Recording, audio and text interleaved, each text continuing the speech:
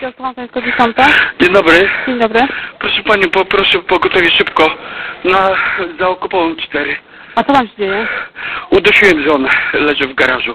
Okopowa 4? Udusiłem ją. A to Ja, ja ją udusiłem. Pana nazwisko proszę. Jakubczyk. Zdzisław. Co pan gdzie jest teraz? Na małej.